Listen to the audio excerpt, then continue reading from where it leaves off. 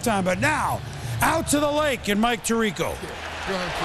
And Chris, it is a perfect night on the south shore of Lake Erie. Two of the great franchises in NFL history, the Cleveland Browns and the New York Giants. The Super Bowl champions are undefeated and still lay claim to the title. Best in the game. The Browns' lofty expectations have met harsh reality head on. Their margin for error is disappearing.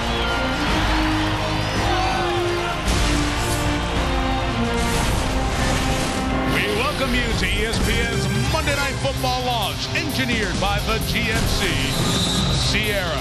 From the place where Monday Night Football began, Cleveland, Ohio, the Browns and the Giants on Monday Night Football, and the fans of the Dog Pound ready to roar. Good evening. We welcome you to the wrap-up of Week 6. It's been five years since Monday Night Football has been here in Cleveland. It is great to be back in Northeast Ohio. Well, there were a lot of expectations and buildup. The Browns won 10 games last year, just a tiebreaker shy of making it into the playoffs. But what's happened at the start of the season, not so much. One and three, there's a little bit of heat on the head coach, a little bit of heat on the quarterback. There is some feeling that if the Browns don't get this win tonight, the season could swing even farther south. Then on the other side, you have the Giants. Every meaningful game in 2008, they've won before the end of the playoffs last year and the four to start this season. As we bring in Ron Jaworski and Tony Kornheiser, guys, Giant fans, and we know a bunch of them back in New York, Tony, Yeah. they are in heaven because they've never been able to stand on the mountaintop and say, we have the best offense in football. And statistically, they do right now. No post-Super Bowl hangover. No, and that's confused a lot of so-called experts and maybe some of us because when you go into this year, what is there in Eli Manning's resume to indicate he's going to be a great quarterback all the way through the next year? The Giants were downgraded because of a bunch of things, including Michael Strahan retiring, Jeremy Shockey being traded, Osi Umenyiora out for the year with an injury. People looked at the Giants all across the country and they said they're not going to be as good as they were. And they're right. They're not as good. They're better. But Tony, when you look at the Giants, they've built on that success they experienced a year ago. And I found interesting talking to Coach Tom Coughlin that they have to win the physical battle to be successful. And if you look on the offensive side of the football, it does start with the power running game behind Brandon Jacobs and a very athletic offensive line. You'll see the I formation with Brandon Jacobs and Rich Seubert and Chris Snee, athletic guards that can get out in front. They will pull to the left. Here's the misdirection. I love the ball fake action right here, but this will be the handoff, and then you will see after the handoff, the, the safeties and the linebackers will hit this play. Once you get them flowing the wrong way, now you see Jacobs with the cutback. He gets into the open field. Misdirection, the running game sets up the play action pass game. Again, look at the ball extension. Now, what does that do? It forces corners to look in the backfield. They think run. It forces safeties look in the backfield. They think run. And what do you get? Domenik Hixon over the top for the big play in the passing game.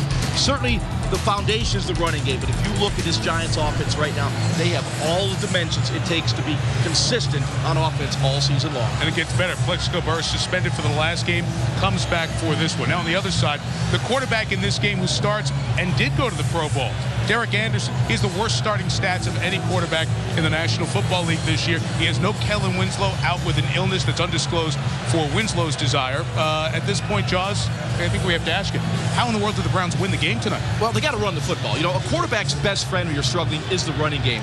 If you look at the, the Browns through their first three games, they averaged 17 called runs. Not enough. In their win against Cincinnati, they had 37 called runs in that game, and it was Jamal Lewis. He is the power back that has to get the running game going, and Lawrence Vickers is a beast as a fullback. He will lead Jamal Lewis. We ask ourselves, how important is this game to the Cleveland Browns? And Braylon Edwards told us the other day, if we win this, those three losses, they didn't happen. So this could be the pivotal game for the Browns this season. one way or the other. And you're going to have more on Eli Manning, a quarterback whose play has been, well, nonstop solid since the beginning of 2008.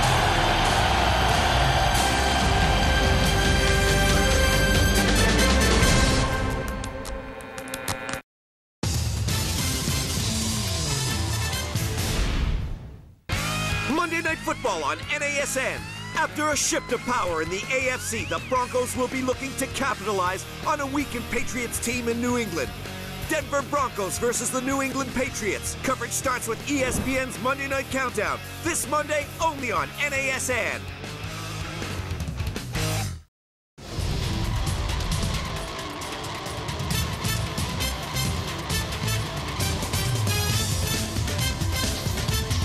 Cleveland. A lot of Cleveland Giants, great games over the years and great names like Otto Graham and the Gipper. The legendary battles between Sam Huff, linebacker, and the best running back of them all, Jim Brown. Why were these teams so familiar in the 50s and 60s? They're in the same division. They combined to win 17 of the 19 division titles. It's only their third meeting in Cleveland in 34 years. And the last time the Browns had a home win over the Giants, 1973. We welcome you into our high definition home. You can see the entire telecast in your home on ESPN HD, presented by Sears. Our captains of video you with a good evening, Cleveland.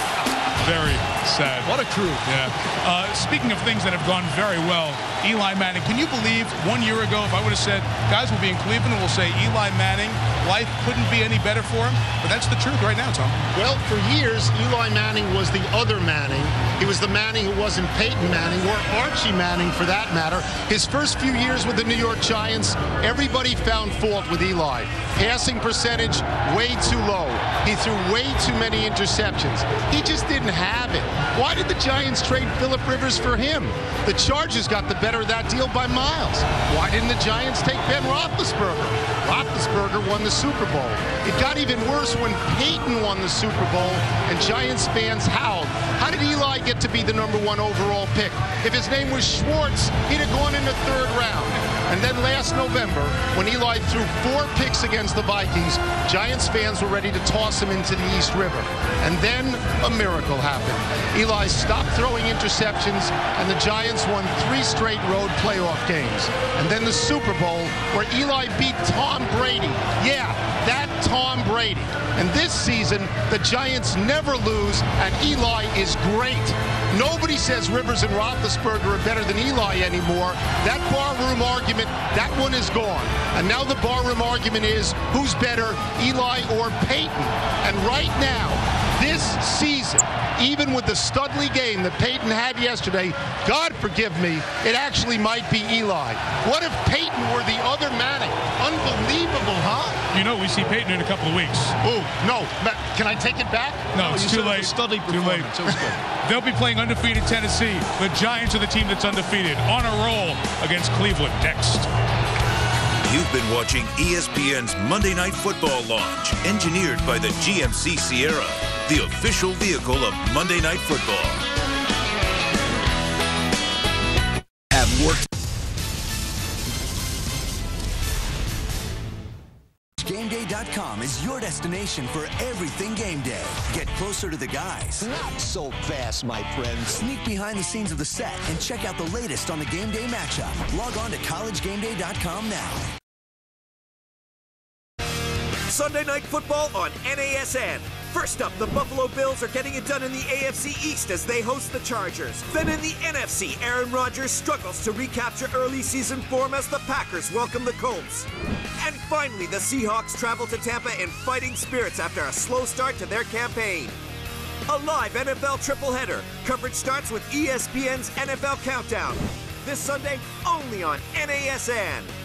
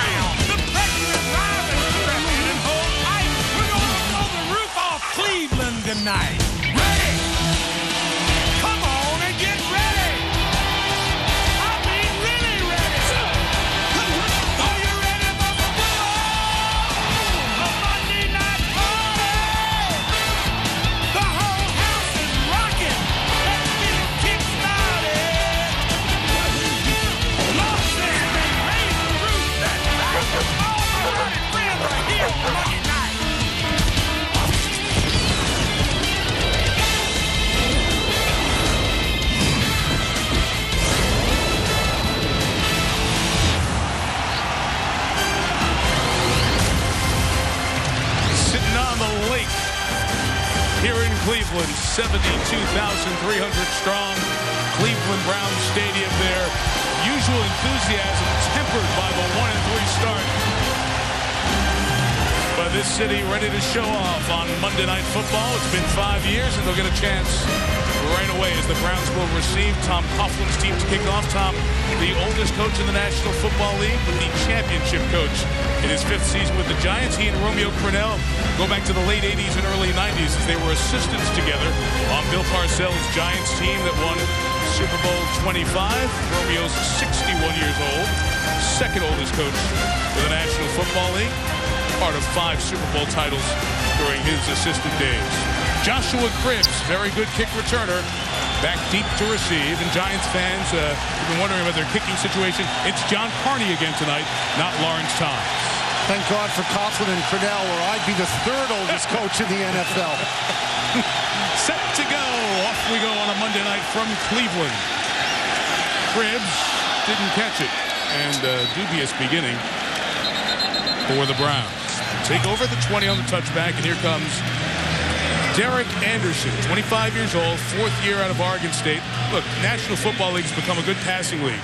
When your completion percentage is under 50%, that is bad. And it's the worst of the guys who started every game this year. And Mike, he's been erratic with his throwing, and he's had a number of drop balls by his wide receivers. The combination is not very good. I believe tonight they'll go with the power running game early. Anderson represented the AFC in the Pro Bowl last year. First snap from the 20, first throw. Nowhere near Donté Stallworth, who's on the field for the first time. We have a flag tonight.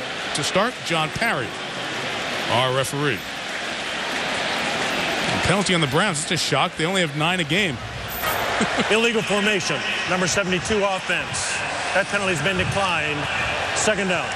I talked to Phil Savage, the GM, today about Derek Anderson, and he talked about the concussion, you know, during uh, the exhibition season. And Braylon Edwards had a slow start, dropping passes and stuff like that. Stallworth not on on the field. Joe Jurevicius out. I'll, I'll let the play go and then get to Savage's analysis of Derek Anderson. Steve Heiden in a tight end for Kellen Winslow out tonight. First run with Jamal Lewis, who after declining the penalty, they get six on the run. Third and four coming up. All right, so, so he's got this great arm, but he's got receivers now who are smaller this year than they were last year. And he's trying to be perfect. And Savage says that it's like in baseball, they've shrunk the strike zone on him. And so, you know, he's not as accurate as he should be. And he says, with a shrunken strike zone, you know, he's a gunslinger, a mad bomber. He's got to throw his way out of it. But George, if he Tony, I- misses, I, they're going to I- boo him. I, I don't agree with that at all. At all. You still have Braylon Edwards, you had Kellen Winslow, you had big targets. Jason Wright in the back, third and four. He picked up the blitz. It's caught by Edwards, taking off. Braylon Edwards breaking out of a tough start to the season. Big gain to the 25-yard line. A pickup of 49. Well, why not go to a wide receiver 6'3", 250? Man coverage on the outside. You'll see the good stick to the outside on Aaron Ross. That gets Edwards to the inside.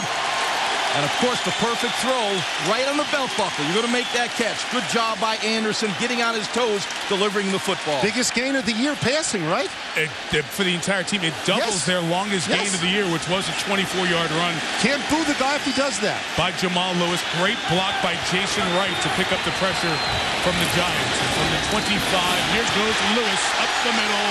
Gain of eight hard running yards. Get you uh, acquainted with the Browns. Lewis is going to see the majority of the work. Ninth year, still can be a good power back. We mentioned Edwards struggling in the first four games. And Jaws, I told you Kellen Winslow not playing tonight. What does that do to the Browns offense? Yeah, they miss his versatility. You know, Winslow was an excellent blocker as well as a deep threat. That means Lawrence Vickers is going to have to pick up the blocking. And Steve Heiden, yeah, he can catch the short pass, but he's not going to stretch the field like Kellen Winslow. See Ryan Tucker making his season debut. Hip injury missed the first four games. Second and two, right back to Lewis. Through the middle of the Giants defense, tackled by Justin Tuck. First down for Cleveland. at the 13-yard line. It seems like a long time ago that Jamal Lewis had that 2,000-yard season. It was back in 2003. What kind of a back is he now? You know, he's a power running back. He's downhill. You know what the Giants will try to do is get him to bounce to the outside. If he keeps those shoulders parallel to the line of scrimmage, he will get positive yards. Right now, the Browns are turning this into a manhood game. Come off man on a man and win at the line of scrimmage. Led by 47, Lawrence Vickers, the uh, fullback, and a penalty marker down. False start. Number 65 offense. Five-yard penalty. First down. Former Pro Bowler Eric Steinbach, second procedure flag on the Browns. That's two penalties, seven to go to get their average, the second most penalized team in the National Football League. And those are dumb penalties. You know, legal procedure, lining up incorrectly, those are dumb penalties. You know, you don't mind the, the penalties of aggression where you're hitting someone or getting after someone, but those, those just aren't smart, and that's how you lose football games.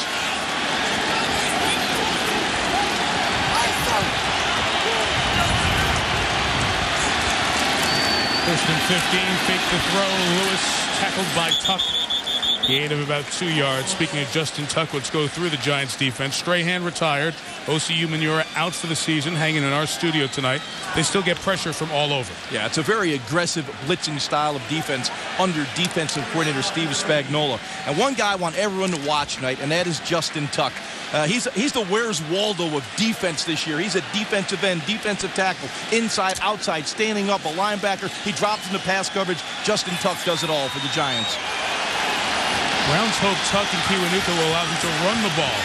Not as stout as the Giants were against the run a couple years ago. Anderson loses the snap, able to get it back. So a procedure penalty and a uh, fumbled exchange leave the Browns third and long at the 16. Well, we talked about the pressure. That's the Giants' style of defense. They were bringing the house on that second down play.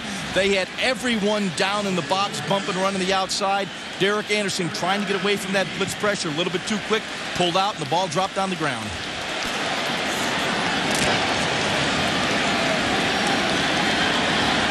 Giants go with a half dozen defensive backs on third and 15. And Jason Wright checks back in the game for the Browns. Anderson's throw complete. First Browns catch for Donté Stallworth.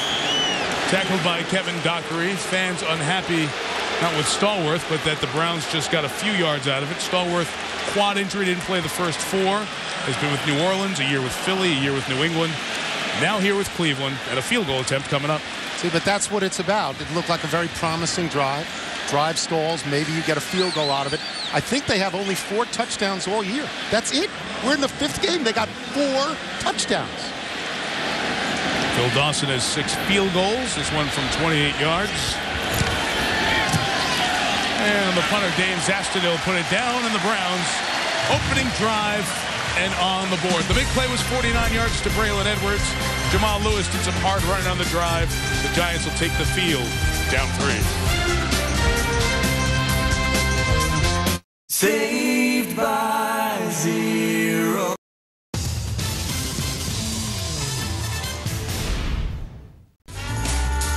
Four fast-talking American sports writers right there. We got records. Don't miss them. Get muted every day on Around the Horn, weekdays on NASN, your source for North American sports. Horn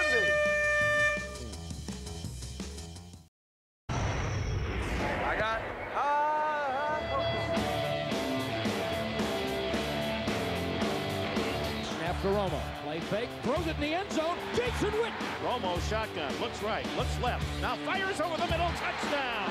Romo throws over the middle. Touchdown. That's four for quarterback Tony Romo. We're down NFL Bills. Let's go.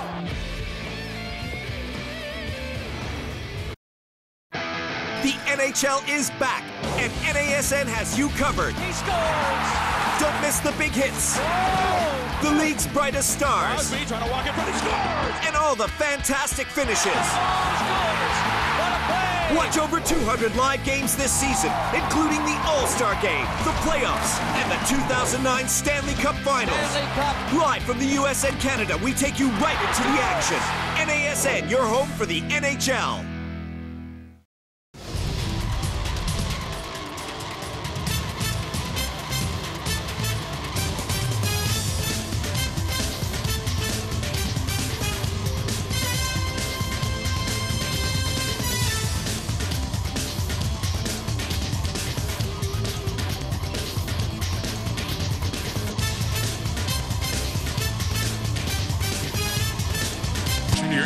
Degrees has uh, yielded this spectacular night. Not yet a full moon, guys. It's 98%. How much more do you need?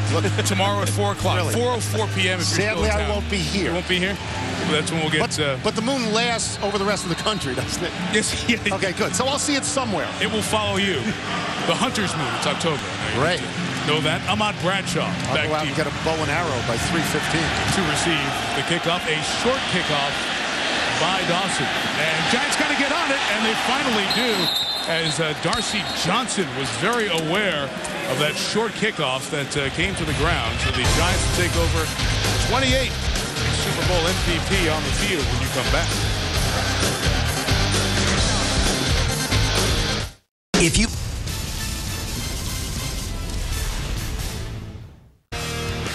Night Football on NASN. First up, the Buffalo Bills are getting it done in the AFC East as they host the Chargers. Then in the NFC, Aaron Rodgers struggles to recapture early season form as the Packers welcome the Colts. And finally, the Seahawks travel to Tampa in fighting spirits after a slow start to their campaign. A live NFL triple-header. Coverage starts with ESPN's NFL Countdown. This Sunday, only on NASN. I'll trade you a Red Sox home jersey and a Rangers t-shirt for that Pirates jacket. No way. I want that Cardinals hoodie and that Braves away uniform and an item to be named later. You drive a hard bargain. Majestic Athletic, the official uniform supplier for all 30 Major League Baseball teams. Available now all over Europe at NASN.com.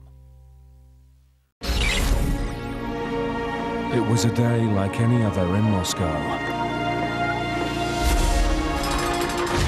Thousands of Spartak fans braved the bitter cold to see their beloved team play Holland's. Spartak were winning 1-0 when minutes before the final whistle they scored again. What ensued can only be described as one of the greatest tragedies in football. The Soviet media called it an accident in which some were injured. More than 300 people are thought to have lost their lives that day. ESPN Classic gives you the truth behind the Moscow football disaster. Monday, 20th of October at 2200 on E ESPN Classic. Middle. Yeah, it's going to be a tough squeeze throw, but you back shoulder that throw. Derek Anderson right now isn't comfortable enough to make that throw. He'd rather go to the little drag route underneath. Eli and the Giants take over at the 28. Brandon Jacobs left side, forward, as he always does with that uh, six foot four, 264 pound frame. Gain of seven for Jacobs. What, what is Corey Williams thinking, saying if you hit him early in the game, he'll start tiptoeing around? It, it looked like he was making progress going forward on that one, didn't you? He weighs he weighs more, I believe, Jacobs, than seven different guys on the Cleveland starting defense. No question. He moves the pile, and Brandon Jacobs is the essence of the power running game in the National Football League. Yeah. You're talking Corey Williams, the Cleveland defensive lineman this week, called out Jacobs, said if you hit him hard, he will not run as hard as the game goes on. Really? Second and three. Eli's first throw underneath Steve Smith, the third receiver. Big add to this offense over the last few years. First down. And a gain of 10 for this uh, Giants offense that uh, continues to run at high efficiency, leading the league in points, 32 a game, yards, 431. Plaxico Burress back from his one-game suspension. And Ron, their five offensive linemen starting their 21st game together. Yeah, and the burden is on the interior of that offensive line tonight with Seubert, O'Hara, and Sneak. They must block that 350-plus pound nose tackle, Shaun Rogers, one of the best in the NFL. Jacobs going left side, going to gain five and a half, maybe six yards. D'Qwell Jackson and Andra Davis make the tackle. I omitted one key word, 21st straight game together for that Giant offensive line. Yeah, that's that's critical because you get the nonverbal communication from the offensive line, and you'll see Brandon Jacobs here. Good body on a body by the Giants up front, just creating that seam. Look at the pad level. He delivers the blow and moves forward. Yards after contact. One, two, three. Every single time Brandon Jacobs touches the football. That's why you average almost six yards per carry. It's like a medieval battering ram that's used to break down the front door of the fort. Giants go five wide, but one of them is Madison Hedgecock, the fullback, up at the top of the screen.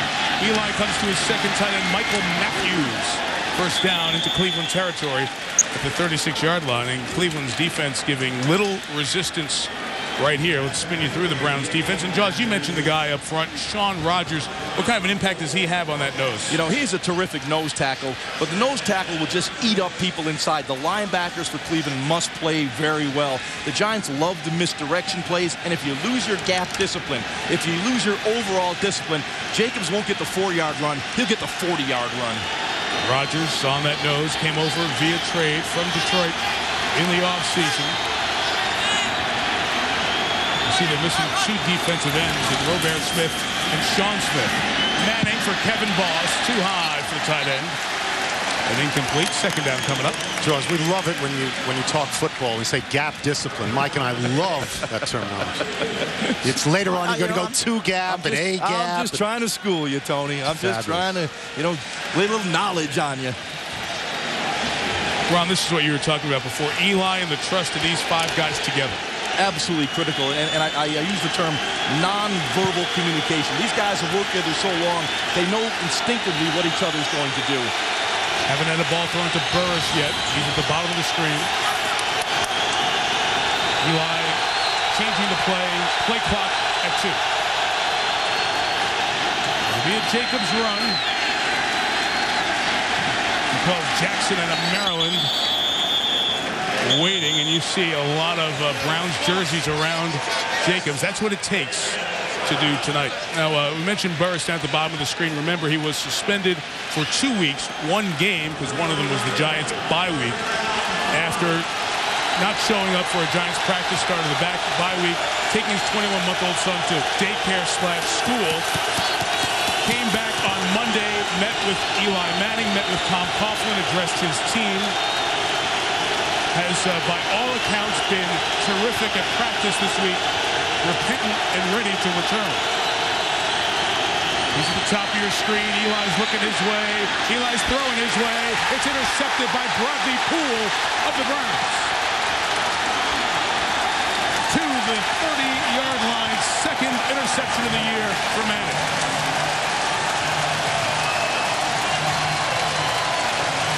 Biggest change in Eli Manning from the beginning of the playoffs to now has been not throwing those interceptions. Only his second this year, but he threw a bunch in every other year. He's got to keep them off the field, Joe.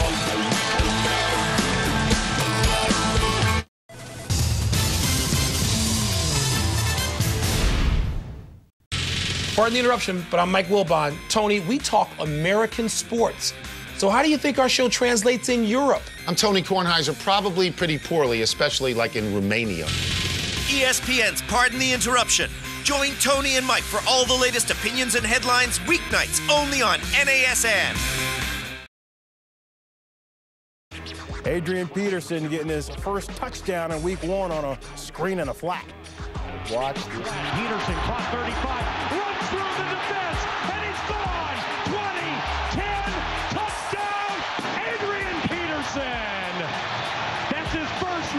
Football League touchdown. It went for 60 yards, and the 4-4 was in play for the final 40.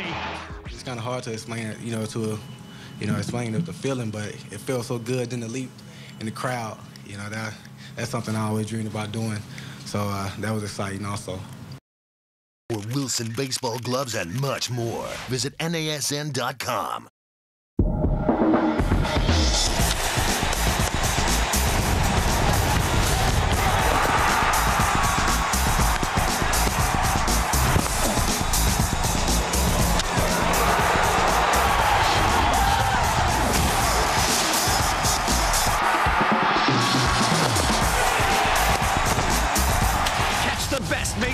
Baseball coverage all the way to the World Series on NASN.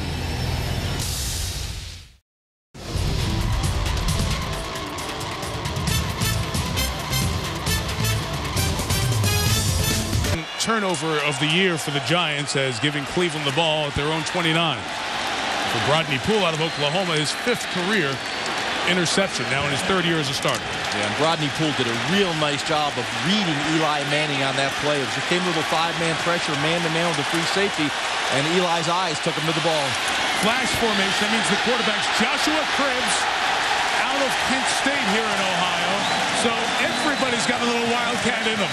What Miami has done the last couple of weeks, wildfire through the league. And Cribbs, the former college quarterback. Yeah, and you'll see right there, there's Joshua Cribbs in the backfield, normally a wide receiver. He's played some quarterback in his high school days, and you can see right there, he ran a little, ran a little option and took it up the field. The Wildcat formation is spreading around the National Football League. Cribbs, very good quarterback at Kent State. Very complete quarterback. Uh, running first, then throwing quarterback. And uh, the guy who the Browns have identified as their wrinkle. After the first down, Anderson swinging to Jamal Lewis. Just move the open field by Lewis.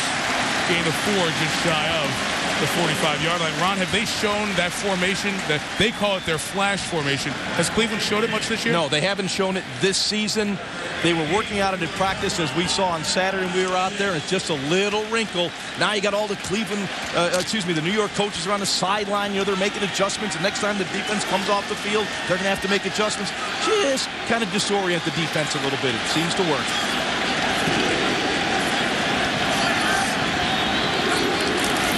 Our formation, Lewis, those feet moving to the right, gains about three yards and a very manageable third and about two and a half coming as uh, we get some pushing and shoving post play.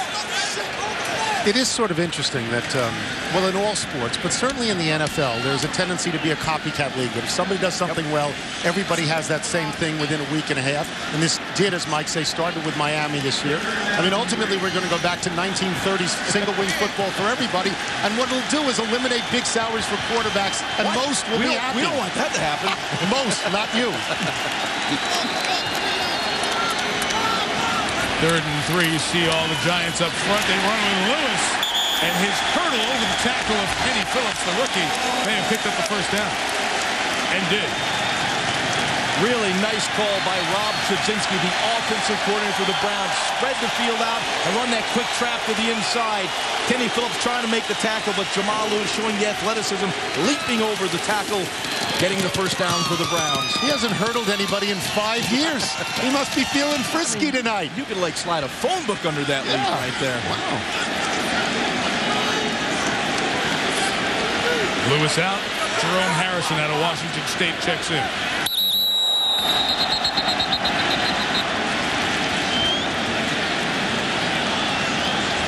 Number three. False start. Number 70 offense. Five-yard penalty. First down. Ron, you were on Lewis early on uh, here this evening. He had to have a big game. No, no, no question, Mike. It's going to be about the power running game. There you see, had not come around, lead Jamalis up to the inside. Once again, look at the block by Vickers. He is just a beast as a blocking back. Here you see Heiden come around.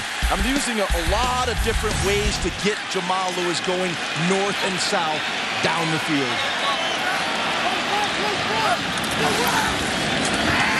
Anderson's throw, what a read off the corner by Corey Webster, who sniffed out that pass to Dante Stallworth. Incomplete. Let's see, do we have a marker down? We did. There is no foul for pass interference as the receiver was at the line of scrimmage. Therefore, by rule, no foul. Explained by John Parry. He'll bring us to second down. Yeah, once again, a play designed to get the football on the perimeter to Josh Cribbs. He's one of those guys you want to get the ball in space. A bubble screen trying to get the kick out block from Heiden just didn't work. The Giants defense was well prepared for that bubble screen. Jamal Lewis at the bottom of your screen as they go empty with two running backs in the game. And a quick throw, this time hooked up with Stallworth. The 41-yard line, good pickup on second and long. It's a dozen. And again, a manageable third and three coming up for Derek Anderson and the Browns offense. Now, Mike, and I like the play selection right here. They're going to the quick passing game. You know, they're giving Derek Anderson definitive reads in this offense, spreading the field. He knows where to go with the football quickly. Three-step drop, get the ball out of your hands. And right now, they're forcing the football into Josh Cribbs. And why not? He is an explosive football player. I'm sorry, that was Dante Stallworth on that play. Syndric Steptoe, another wide receiver, checks in on third and three. This time he'll throw for third and three. And leaking out is the tight end Heiden. Made a nice move, and Steve Heiden, starting for the injured Kellen Winslow, gets a nine-yard first down. You don't want to get carried away because very early in the game. But they, they don't look like a one and three team right now. They're moving the ball very well on the Giants. They had the opportunistic, when it looked like the Giants would score, they got the interception on Eli Manning, only the second one he's yielded all year and only the third one in his last eight games full, right? So the Browns, maybe it's the spotlight of a national game, but the Browns look a lot better than I think we thought they would look. So And Derek Anderson doing a nice job. That was his fourth option on that play. He looked left, left, left, and came back right. Offensive line gave him time to go through that protection. Fullback Vickers leading the way, and Lewis goes to the right. Runs over Chase Blackburn in there at linebacker for the Giants, and a gain to the 28-yard line. Mike, at one point, wasn't uh, Jamal Lewis Brandon Jacobs before Brandon Jacobs was Brandon That's a good Jacobs? point. Back that 2003 season when on Yeah. uh, that uh, very memorable Sunday night, he had the 295-yard game, part of that 2,000-yard season. So it's not like the Giants invented power running. And I think this guy, certainly in Baltimore, had something to do with it. I don't know. Back in my days in Kansas City, uh, Marty Schottenheimer had a guy back there, Christian Okoye. Nigerian nightmare. You got There you go, Michael. Antonio Pierce not in the game for the Giants. Blackburn made that last tackle. Blitz pickup, flag down as the pass is incomplete behind the tight end. Hyde.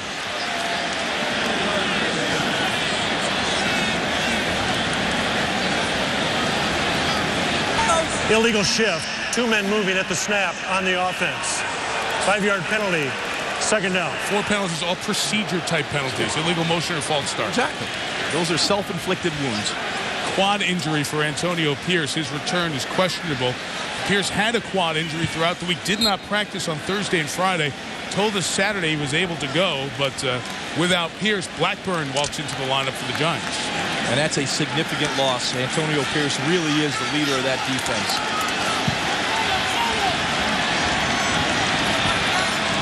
Another second and long after a flag. Anderson's pass is deflected and nearly intercepted. Jay Alford coming off the defensive line. Third round pick a couple of years ago out of Penn State. Makes it third and long. They point out here Dave Tollefson is scratched tonight for the Giants. Jerome McDougle is active for New York.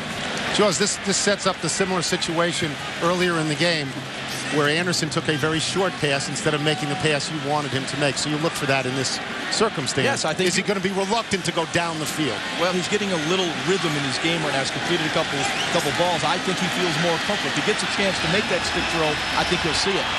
Field goal from here is about 51 yards into the slight wind that we have here tonight.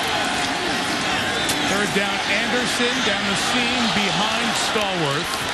And incomplete. Let's see if Cleveland, with, with a good leg kicker, and Phil Dawson goes for the field goal or not. Yes. They will. Decent breeze now coming in off the lake. Yeah, you want to be Derek Anderson here. Check Derek Anderson out, number three. Now he's looking down the field. He knows he's got that dig coming in from Stallworth. This is just an inaccurate throw. That ball has to be out in front. Now, Tony, I don't care if you're 5'11 or 6'3, that's an inaccurate throw. So we're not squeezing the strike zone on No, him. no, no, I don't buy that. Estimate the wind about 8 to 10 miles an hour. Into it from 51. Dawson online. Long enough? No. Ball, a little tail to it. Hooked at the end. No good. Giants take over, trailing by three.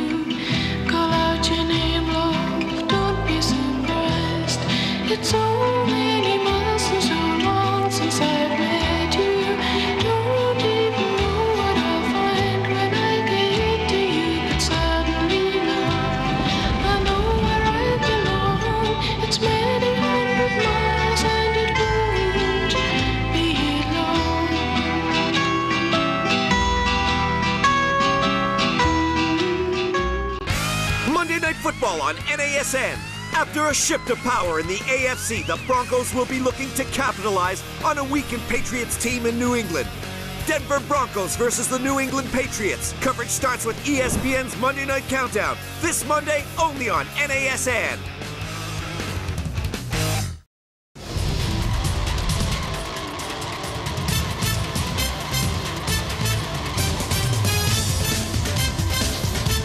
Take it to New England, where the Patriots are licking their wounds after another 20-plus point loss. Denver coming off its setback, still leading the West. You'll see the Broncos Patriots next Monday night from Foxborough, 8:30 Eastern on ESPN HD and ESPN Deportes as well.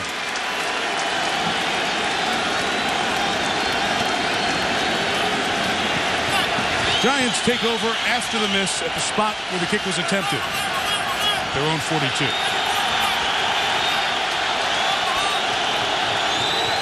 Derrick Ward's the running back, and Eli going to pump right, come left. Complete and held on to by the tight end, Kevin Boss, into Cleveland territory at the 35. First down, nice comeback after the pick. Yeah, and the pick really was Eli's fault. He had man-to-man coverage with a single high safety in Brodney Pool. Eli must keep Pool to the right side of the field, but he stares to the left. He knows he's got Plaxico Burress coming in, and all Pool does is read Eli's eyes, takes him to the football. Look at Eli. He never came back to his right, looking left the entire time. Eye discipline was lacking on that particular play. Clock uh, expires here, and it brings the first quarter to an end. For the Giants with their second turnover of the season. Browns one field goal made, one missed. 3-0 Cleveland after one. For many men,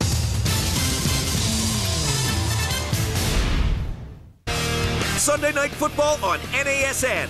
First up, the Buffalo Bills are getting it done in the AFC East as they host the Chargers. Then in the NFC, Aaron Rodgers struggles to recapture early season form as the Packers welcome the Colts. And finally, the Seahawks travel to Tampa in fighting spirits after a slow start to their campaign. A live NFL tripleheader. Coverage starts with ESPN's NFL Countdown. This Sunday, only on NASN.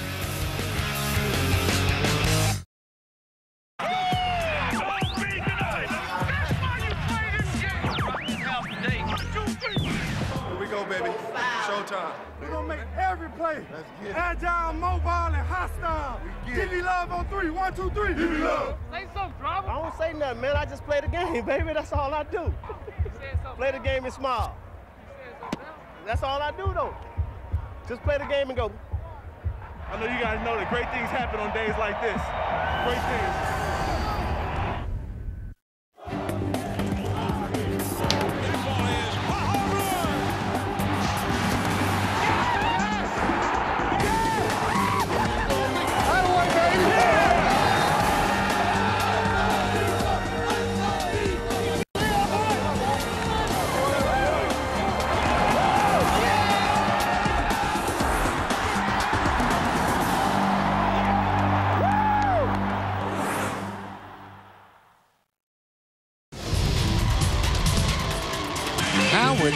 Cosell. I knew that was coming. Oh, sure. Come on, he's one of my idols. Yeah, it kind of looked like Greg Cosell, my producer at NFL Films, with NFL matchup. Of course, his nephew, he ought to look like him. Incredible Tony, where were you on? Where were you on that first Monday night game? I was working. I was just got gotten out of school. I was working in Newsday. Mm-hmm. I was working in Newsday, sports writer.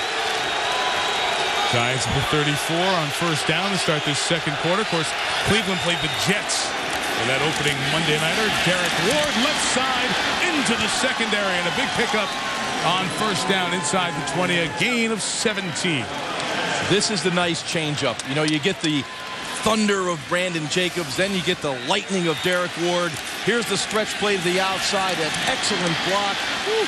Coming around the horn, Chris Snee, David Diehl, terrific job up front, and more explosive is Derrick Ward than Brandon Jacobs. Jacobs very powerful, but you can see Ward just blistering through the hole. David Diehl, what a block. He Yeah, kept that block all the way. around.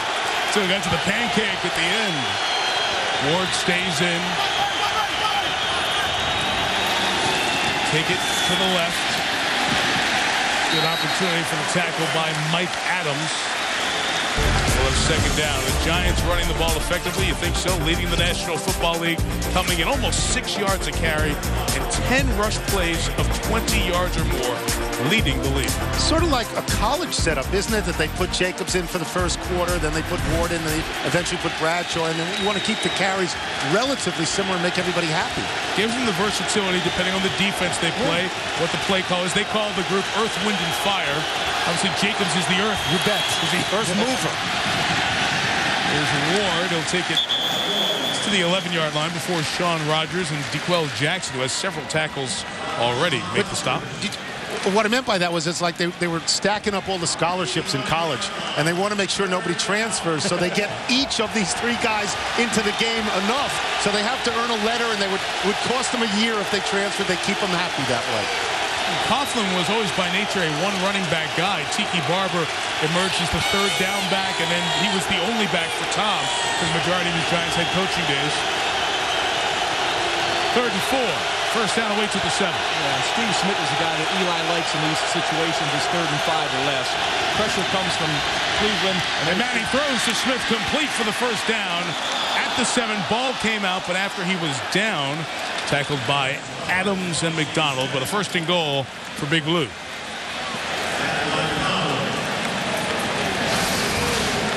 And Steve Smith, right there at the bottom of the screen, is a very precise route runner. Eli Manning knows where he is going to be. You see him come underneath on that smash route about five yards, just knowing you want to get enough for a first down. It was man-to-man coverage. Smith does a great job of covering the football after the catch. But Eli trusts him. That's what's important for his quarterback-wide receiver relationship. Giants go a couple of tight ends, and Jacobs is the lone back. Send the receivers right. Jacobs comes left, accelerates into the end zone. Touchdown, New York. He's really tiptoeing now. They hit him hard, and he just stopped running, huh? I guess not. I guess not. You know, he, he saw Derrick Ward have a nice run. He's on the sideline resting. He goes, I'm going to be back out there real fresh. And my goodness, he came rolling downhill. You'll see it right here, the toss of Jacobs. And I mean, once he gets that pad level down, he is oh. destroying people. The feet moving all the time. The leverage delivers the blow. Same foot, same shoulders. My friend Merril Hoge says the factor back. And wow, he just takes the pile into the end zone. Mike Adams peeled his number 20 off the turf of Cleveland Brown Stadium. Jacobs ran him over. John Carney is kicking adds the extra point. Here's the real problem with Jacobs. Once he gets past the line, everybody's 100 pounds lighter than him, and you do not want to get in his way.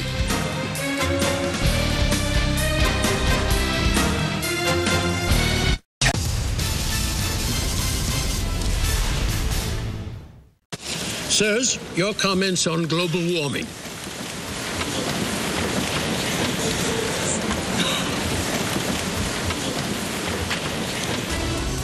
Sunday NFL Countdown, only on NASN. Looking right, looking left. Lets it go downfield. Throwing into the end zone. He fires. Touchdown. Touchdown, Nebraska. He has an opening. And he sees that end zone. He's the going. He's across the goal line. James has done it again. His second rushing touchdown. He has been such a money ball player. Mike just watched the way he danced past those two blockers. Slam dunk. ESPN 360. Wherever and whenever you're online, you're at the game. The NHL is back, and NASN has you covered. He scores! Don't miss the big hits, the league's brightest stars, Crosby trying to walk in front. He scores! and all the fantastic finishes. Oh, Watch over 200 live games this season, including the All-Star Game, the playoffs, and the 2009 Stanley Cup Finals. Live from the U.S. and Canada, we take you right into the action. NASN, your home for the NHL.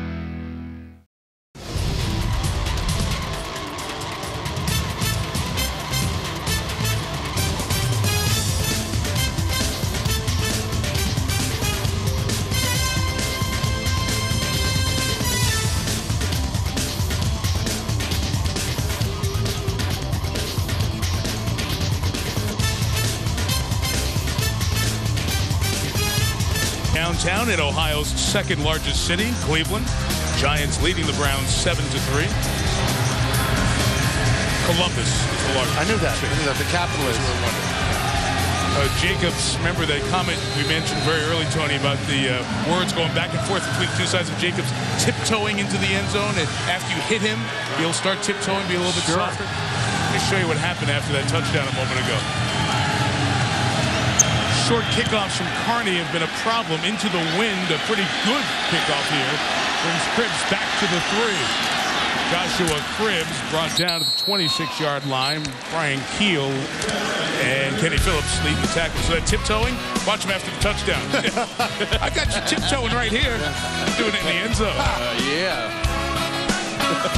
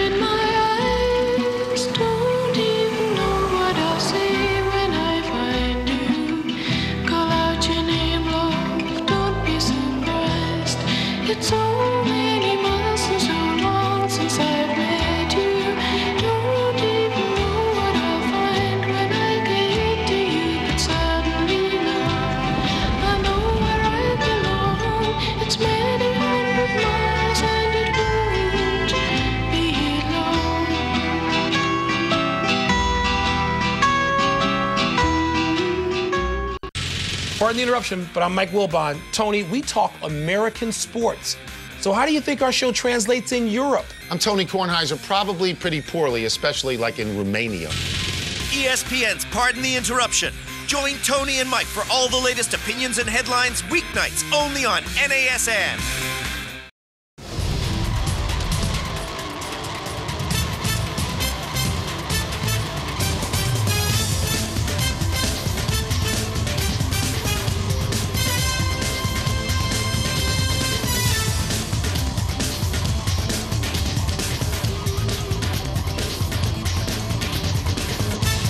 Bad for the Browns offense so far. A couple of drives starting deep in their own territory. They have 122 yards. They've moved it well into scoring position. The problem, three points out of it. And lack of discipline. The Penalties have hurt them. Fourth year out of Oregon State, Derek Anderson waived by Baltimore in 05 at the wheel of the offense and loading up a deep ball. Braylon Edwards got a step. Braylon Edwards got the ball. Braylon Edwards to the five. First and goal.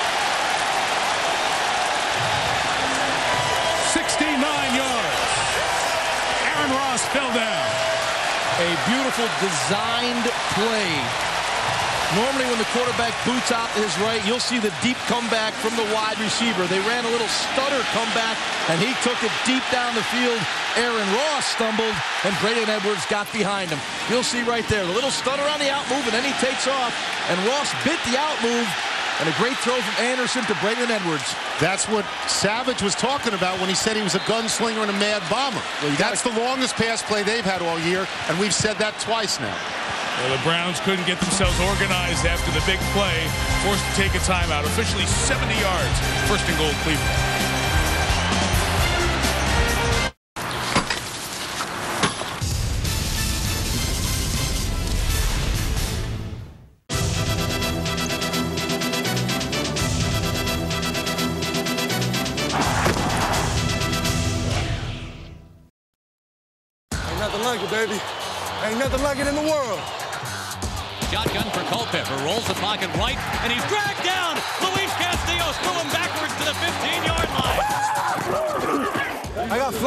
So I thought I was gonna miss him.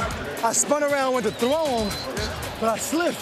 So he was free, and then he started falling. Luis Castillo shot out of the canyon. Hey Dante, man, hell of a fight, man. Hell of a fight, man. Stay healthy, man. You Good too, luck. man. You too. In this league, if there's a hole, no matter how small, you got to be able to get through it. Check this out.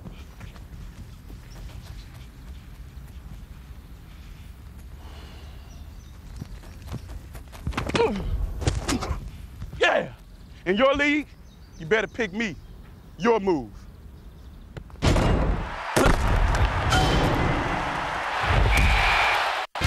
Monday Night Football on NASN.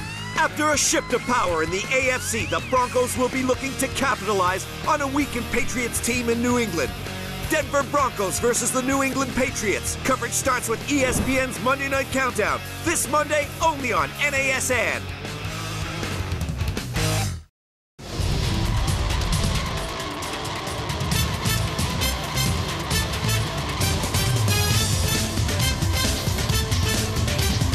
Just a 70-yard completion to Braylon Edwards. He had 95 yards receiving in the first four games. Against Cleveland, the first and goal at the four, trying to take the lead on the undefeated Super Bowl champion Giants.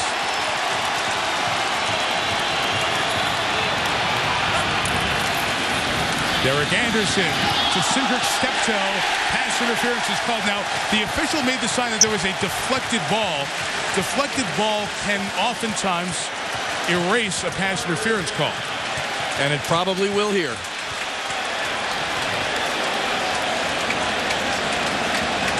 There is no foul for pass interference as the ball was tipped at the line of scrimmage. Here's a look. So you'll see the umpire right away signaling that the ball was deflected. You are a Hawkeye, Mike. He's being helped by that Hunter's moon. 98%? They've run the ball well. They look to throw it on first and goal. Jamal Lewis back in on second and goal. Charles Ali is the fullback, and Lewis scores.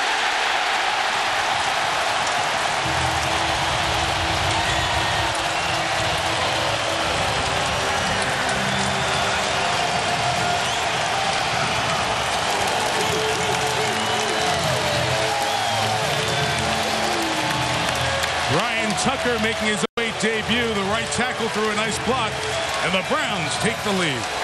Yeah, really nice job by Jamal Lewis. Great vision on this play. It was designed to go to the left behind Joe Thomas. Good job by the Giant defense, but Jamal Lewis finds the cutback and gets it in the end zone.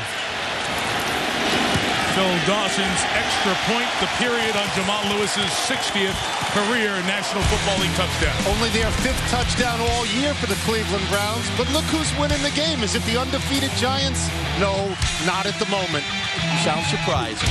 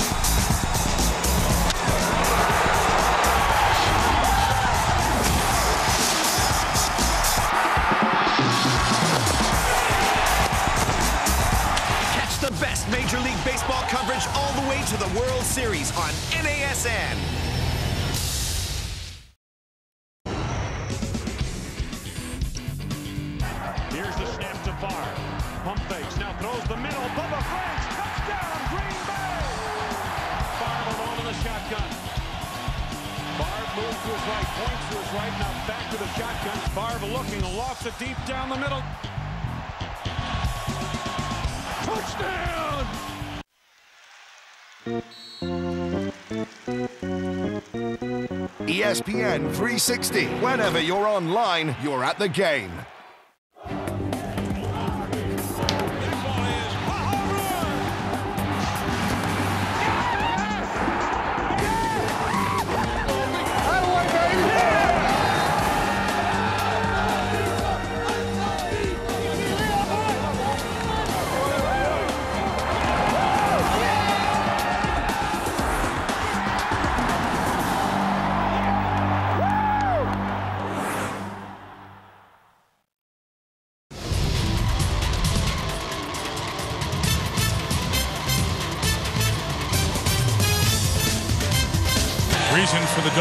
To Bart. The uh, Browns moving the ball very easily on the Giants. That pass to Braylon Edwards, the 70-yarder that set up the Jamal Lewis score. first time that a pass to a target 20 yards downfield, essentially a deep ball, has been hit by the Browns this year. They were the only team not to hit one of those. 0 for 9 until that big one.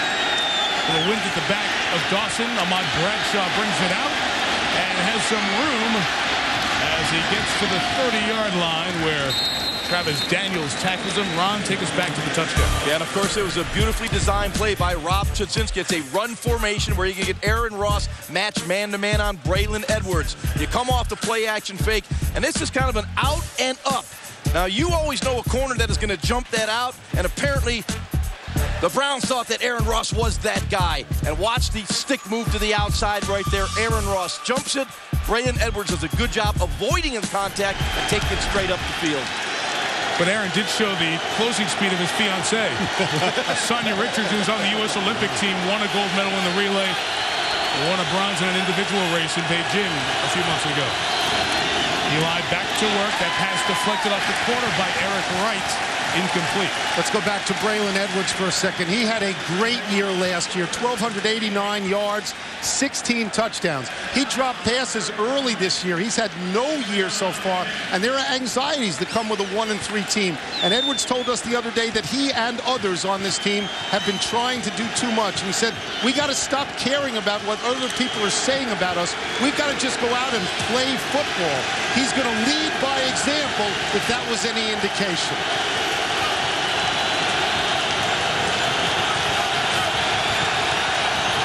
Second and 10, play clock in trouble. Timeout, New York.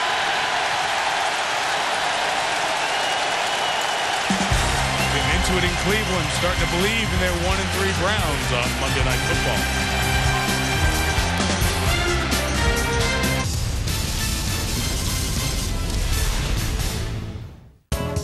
In 2007, rookie wideout Calvin Johnson helped the Detroit Lions win five of their first seven games. Welcome to the NFL, rookie.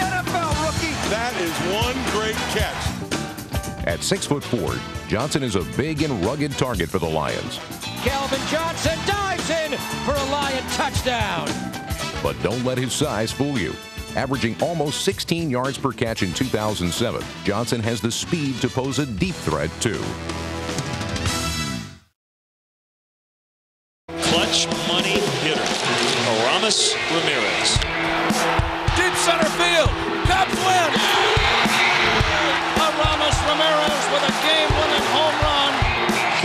Clutch than that, can you?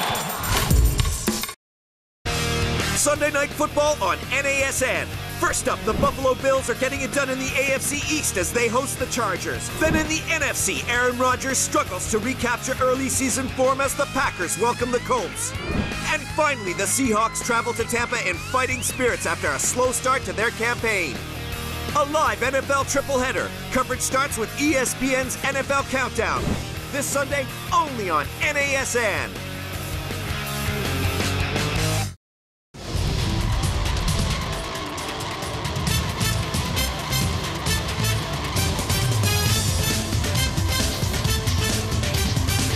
with a Sports Center right now. And wow, the Tampa Bay Rays not only beat the Red Sox 9-1 to take a 2-1 series lead, they hammered Jon Lester for five runs, eight hits, and five and two-thirds. B.J. Upton and Evan Longoria going big fly. And Tony Romo could be out for four weeks. Broken pinky on his throwing in. Brad Johnson, the 40-year-old, take over. Sports Center after the game. Mike in Cleveland, back to you. Thank you, Leaves. Very busy sports day. Talk more about that as we go on here. Of the Giants call timeout. Second and 10. And Brandon Jacobs, Shaun Rogers pushing the pile over his way. A gain of four as Corey Williams finished with the tackle. Mike, you mentioned the name Shaun Rogers, and he is one of the best nose guards in the National Football League. Uh, he's listed at about uh, 350 pounds. I think he's closer to 400. I mean, he just engulfs people in the middle of that line. You'll see him right there with a stunt to the inside. Rich Seubert has hands full on Shaun Rogers, and Rogers makes the play. He comes out. Browns go six defensive backs, third.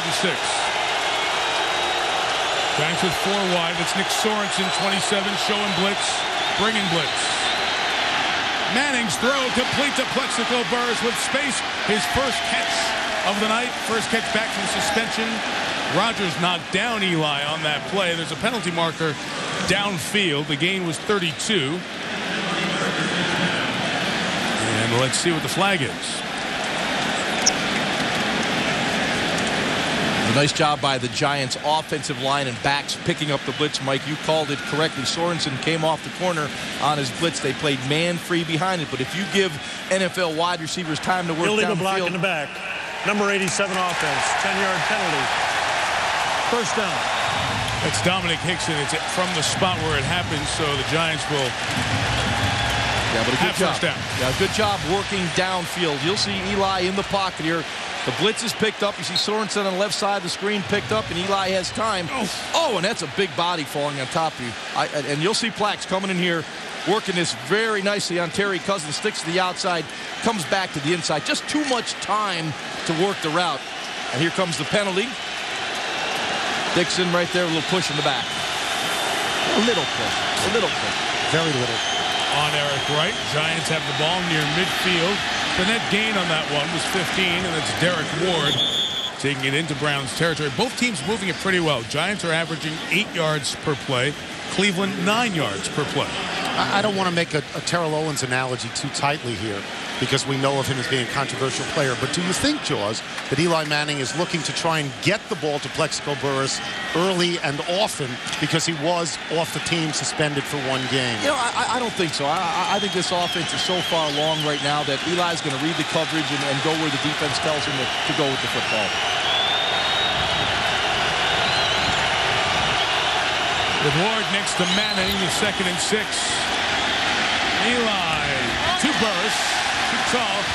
Flag down back at the quarterback. Shaun Rogers again pressuring and knocking Manning down. Hold on the Giants. Rogers doing a great job pass rushing Holding. tonight. Number 69 offense. 10-yard penalty. Second down.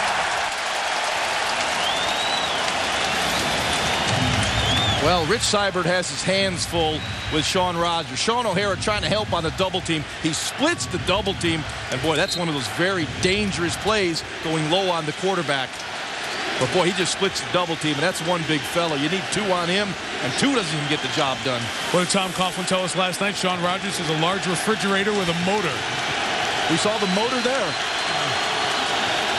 In the home of the Rock and Roll Hall of Fame, get your motor running. Fits that guy tonight. Steppenwolf reference. We love it. Second and 16. Manning, deep ball Burress. Good ball recognition by Brandon McDonald. He's 5'10". Giving up about a half foot plus to Plex, but covered it well. Third down. I don't want to say I told you so, Jaws, but it seems like every time Eli's throwing the ball lately, he's throwing at Plaxico Burress. Well, you had Single on the outside, and that's where the defense tells you to throw the football. You get a matchup size-wise with Brandon McDonald at 5'10 against a 6'5 Plaxico Burress, but McDonald did a terrific job. Great ball skills. He's got his eye on the football, goes up at its highest point and tips the ball away. In fact, almost had the interception. Giants need to take it to the Browns 41 for a first down. Browns showing that odd defense, the UFO defense. It's complete to Derrick Ward, who is tackled back at the line of scrimmage by Terry Cousin.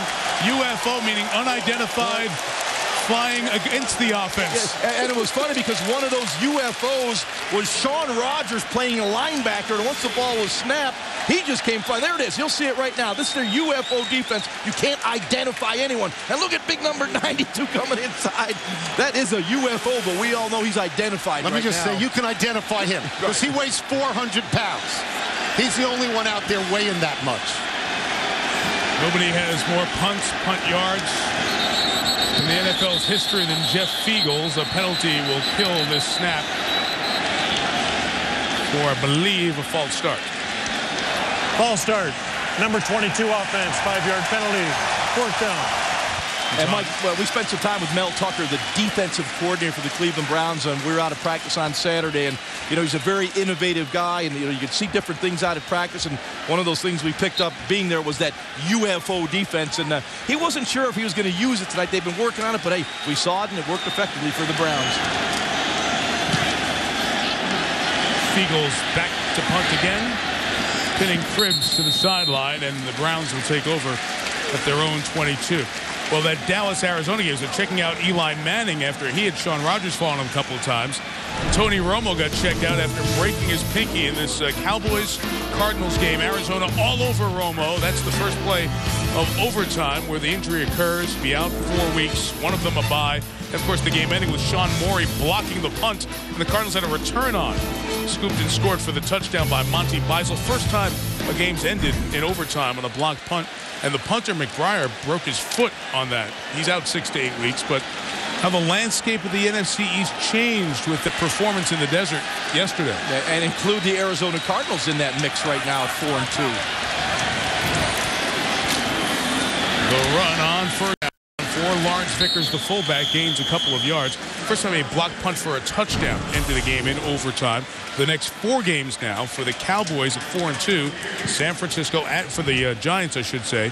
San Francisco at Pittsburgh, Dallas, and Philadelphia. The Cowboys schedule is what people have an eye on. They're four and two with St. Louis a visit, Tampa at home, and then their visit to the Meadowlands coming up on November 2nd. It's a really significant injury, I think, to, to Romo. I mean, the Giants can look at this as a way to get some real space between them and the Cowboys, and the Redskins lost as well yesterday. I mean, Romo makes things happen for them, sometimes bad, sometimes good, but he keeps you in the game all the time. But I believe you'll see some good things out of Brad Johnson. The ball will come out quicker.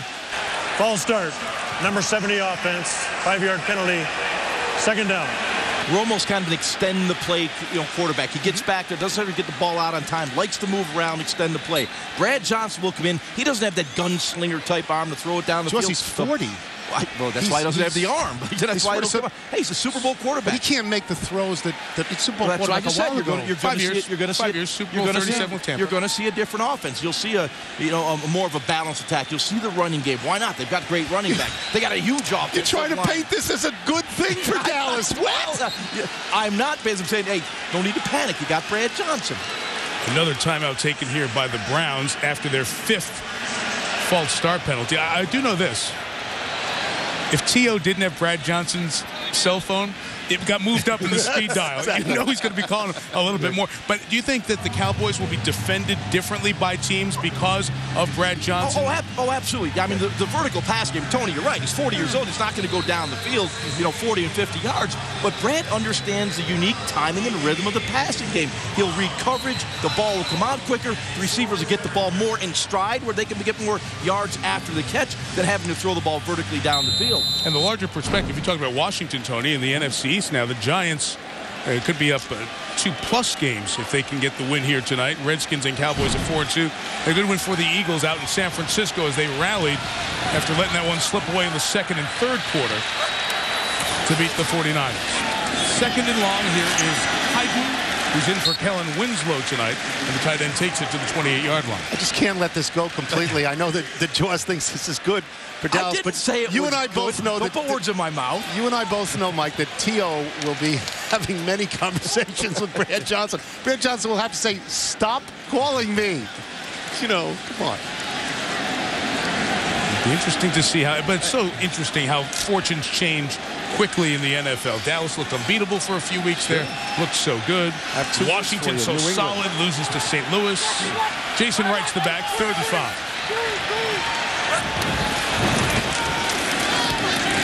Edwards in traffic, caught it first down, and Braylon Edwards is having a heck of a first half. He's had a better first half than he's had first quarter of the season. And you could sense Derek Anderson starting to feel it. Good quick drop, good quick read, the ball coming out of his hand quickly, and most importantly, accurately puts the ball right on the pads, right at the eyes, as Drew Brees likes to say, where you can catch, where your receiver can catch the football. You see this Browns offense getting a little balance, a little rhythm. They're starting to feel it right now. Edwards 129 yards, Anderson 169 throwing. And Jamal Lewis attacks Antonio Pierce with a tackle for a gain of four. Pierce was out in the first quarter with his quad injury, but has come back in here in the second quarter. It's worth saying how bad the Cleveland Browns offense has been this year. Derek Anderson under 50% completions. Braylon Edwards 16 touchdowns last year, one this year. Kellen Winslow hurt now, but having a subpar year. Joshua Cribbs a subpar year. Even Jamal Lewis a subpar year. Everything that could happen bad to the Browns on offense has happened so far. James Butler out, Kenny Phillips in. Safety for the Giants. Anderson to Heiden, the tight end. Complete to Steve Heiden at the 45. First down pickup of 14. So look how much better all of them look together tonight, and obviously that starts at quarterback. No, no, no question. It, it all starts at the quarterback. It starts with having the balance on the offense. They got the running game going. They got a couple deep balls. They softened up the defense, the Giants. Good throw right here to Heiden. Put it right in the belt buckle with Webster closing so he can make the catch. People are saying, Kellen who? Oh, no, they're not. Okay. Just kidding. Lewis, only a gain of a yard for Jamal. It's been a good night for Derek Anderson, making his 23rd start in the NFL. 11 and 11 his record. Yeah, he's been very sharp today. I love this throw right here. He's on his toes, sticking the ball in there to Braylon Edwards. This throw right here is the long ball. He gets it out in front, and you get the big play in the passing game to Braylon Edwards. Love the rollout action. Move away from the pass rush of the Giants, which is outstanding. I think Rob Chudzinski right now, the offense quitter, really has a good feel for what the Giants are doing. Flash formation, quarterback Joshua Cribbs. Anderson's out far to the bottom of the screen. Cribbs gives it to Jamal Lewis, and very careful they had to be on reading the, and that whole read play, you're reading the defensive end to see what's going on. A decision's made at the very last second. Does it go in the belly of the running back, or does the quarterback pull it out and keep it? In the old option football, Josh, they call it the mesh point. And that's right. And I, will tell you what, Cribbs on that play, I thought he was going to keep it. And I think Jamal wanted to take it, and there was almost a fumble. Injury timeout for the Giants. They've already seen Pierce go out for a stretch, James Butler go out for a bit. And now uh, Gerris Wilkinson, linebacker, shaking up for the Giants.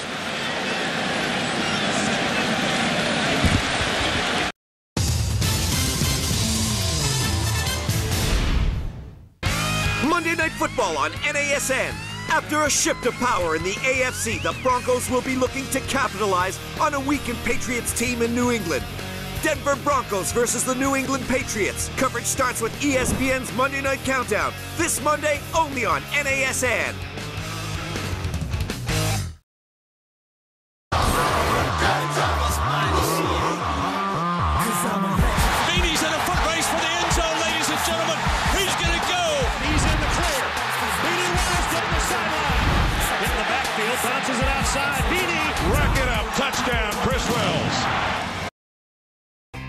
Trade you a Red Sox home jersey and a Rangers t-shirt for that Pirates jacket. No way. I want that Cardinals hoodie and that Braves away uniform and an item to be named later. You drive a hard bargain. Majestic Athletic, the official uniform supplier for all 30 Major League Baseball teams. Available now all over Europe at NASN.com.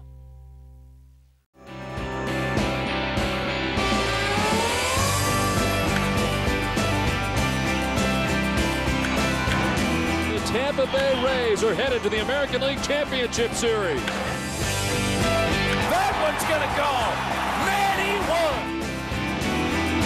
Red Sox win. The Major League Baseball World Series, only on NASN.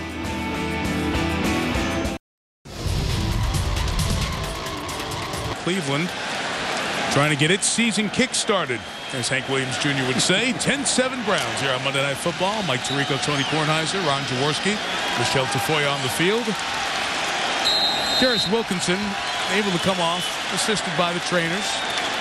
Browns have been very good on third down tonight. This is a little longer than they've had. Third and seven. That's where the Giants like to bring pressure. Become a half dozen Giants. Anderson's throw complete for the first down to Syndric Steptoe.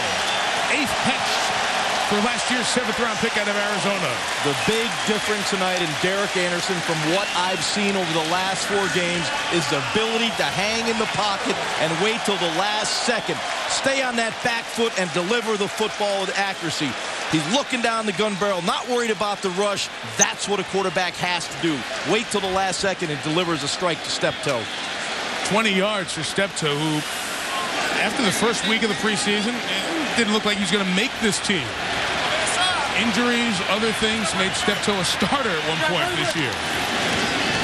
First down, Anderson wants it. End zone,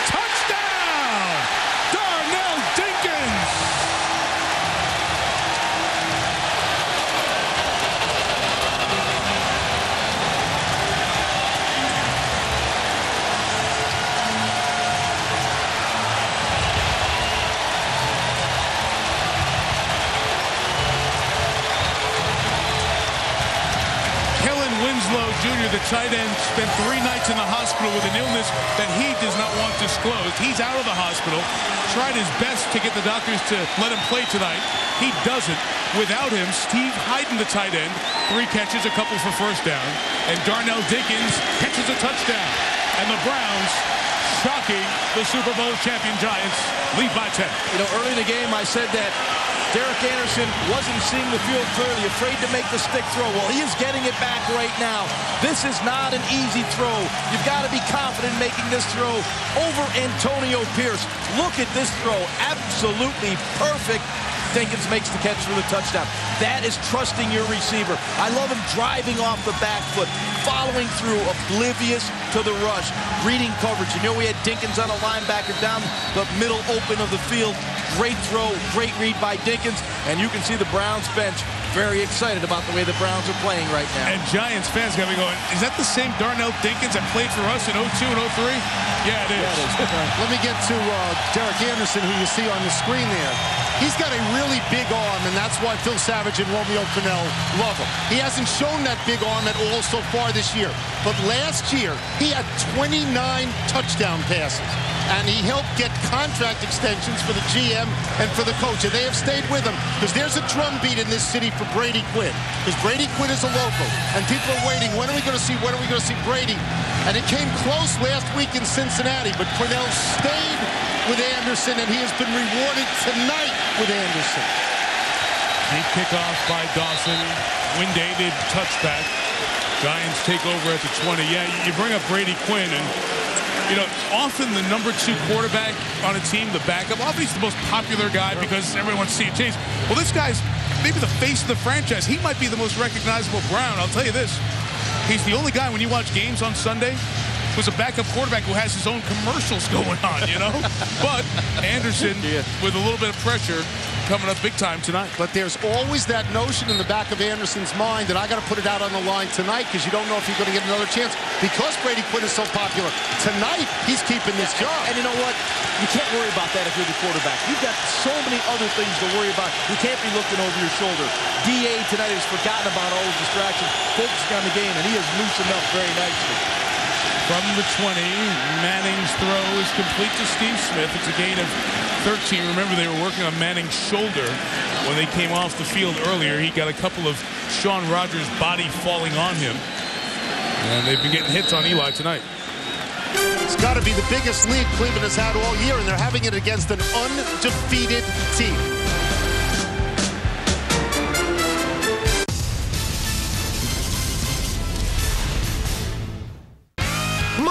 Football on NASN. After a shift of power in the AFC, the Broncos will be looking to capitalize on a weakened Patriots team in New England. Denver Broncos versus the New England Patriots. Coverage starts with ESPN's Monday Night Countdown. This Monday, only on NASN.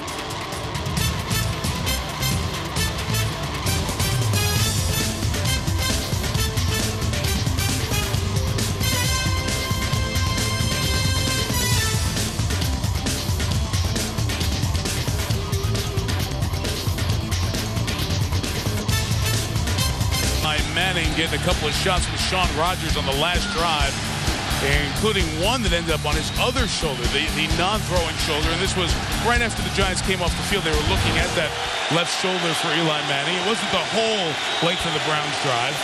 He just completed one to Steve Smith to get this two-minute drive going. The Giants have two timeouts remaining. All replay challenges are not. It happens from upstairs now. D'Qwell Jackson tackles Derrick Ward at the 35, second down.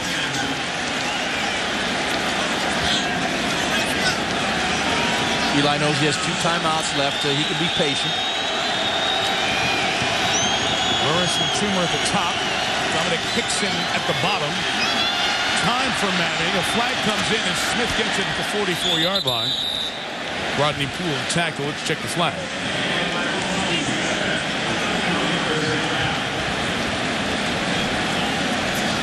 Prior to the pass, holding, number 55 defense. That penalty is declined. Result of the play, first and 10, New York. Willie McGinest, two-time Super Bowl. Well, the Giants facing their largest deficit since McGinest' old team, the New England Patriots, played the Giants in that wild regular season finale on the Saturday night last year that set the table for the Giants to believe in themselves. They went on to win all four playoff games away from the Meadowlands.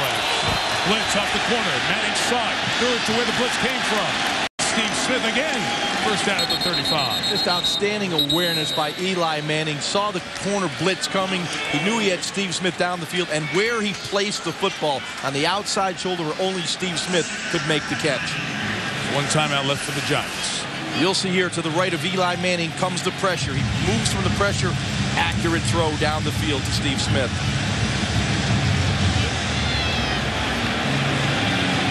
Smith with catches of 13, 8, and 21 here on this drive. And let us remind you that the Toyota halftime show's moments away with Chris Berman and Tom Jackson. Prime time at halftime, as Boomer likes to say, the fastest three minutes. The Romo Impact. Read and react and highlights of the Tampa Bay Rays. Two wins from the World Series. Beating Boston earlier today.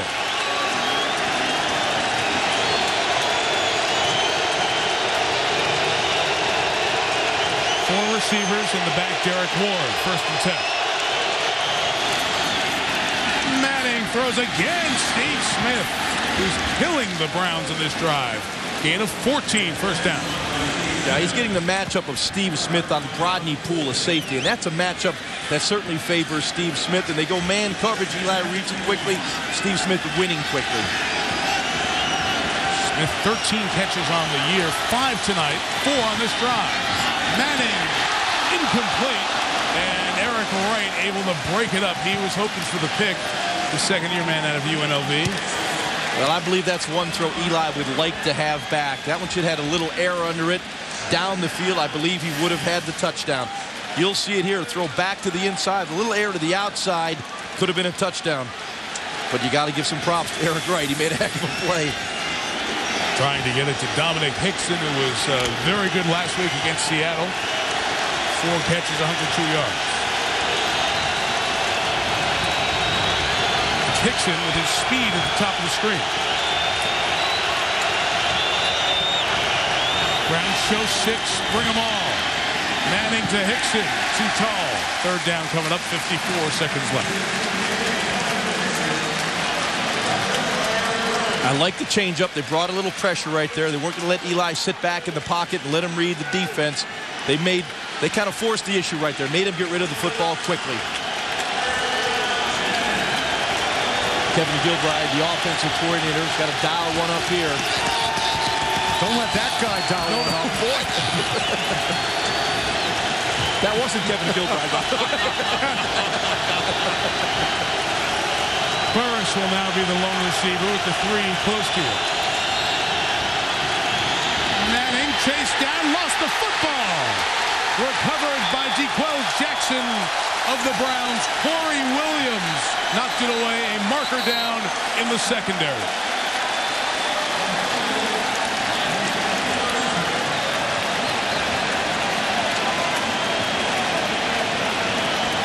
Looks like it's against the Browns.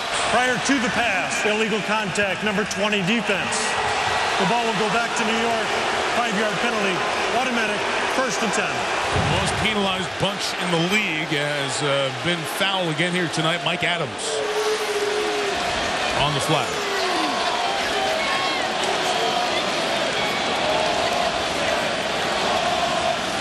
And the key point made that it happened before the fumble, the contact. And once that ball is out, just uh, going for it. Brings in an automatic first down for the Giants at the 16-yard line. One timeout, 47 seconds left.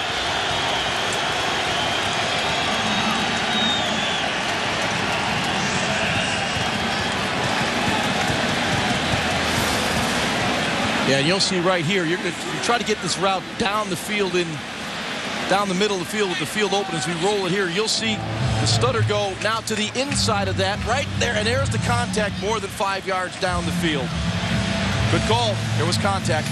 Yes, it's a good call, but it's incredibly fortunate for the Giants. Well, you got to call what, what happens. We have the uh, play stopped here as John Parry and uh, company will go over for a replay review. Again, the last two minutes initiated from upstairs. Tom Coughlin there wondering exactly what being what is being reviewed here. So while they check it out, we'll step out for a second. Giants driving down 10.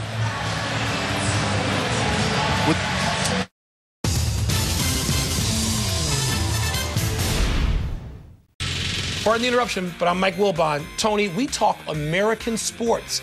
So how do you think our show translates in Europe? I'm Tony Kornheiser, probably pretty poorly, especially like in Romania. ESPN's Pardon the Interruption. Join Tony and Mike for all the latest opinions and headlines weeknights only on NASN. Sunday Night Football on NASN. First up, the Buffalo Bills are getting it done in the AFC East as they host the Chargers. Then in the NFC, Aaron Rodgers struggles to recapture early season form as the Packers welcome the Colts. And finally, the Seahawks travel to Tampa in fighting spirits after a slow start to their campaign. A live NFL triple-header. Coverage starts with ESPN's NFL Countdown. This Sunday, only on NASN.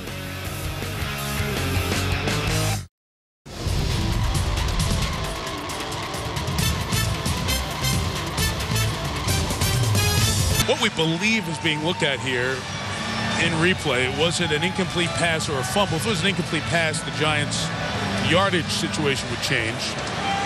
And here's John Parry. After reviewing the play, the play stands as called. There was a fumble. There was illegal contact. Five yards from the previous spot. Automatic first down, New York. And the illegal contact part of that was not part of the review. Here is what they looked at, and pretty easy to tell.